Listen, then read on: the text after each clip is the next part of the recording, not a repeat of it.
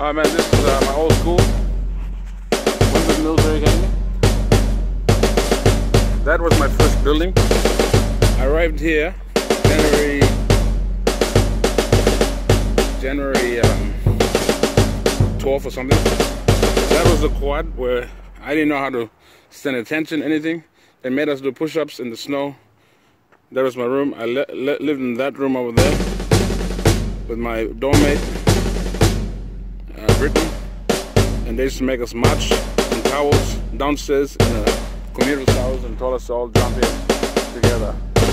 So, so that's building is building was built in 1907. It's very scary. This is the academy. I love the school. Shooting range is downstairs.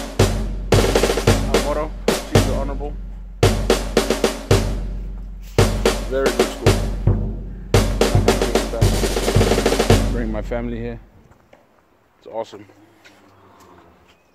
Seeing this school, a lot of great people, senators, generals, world leaders came from this academy. I could do the same one day.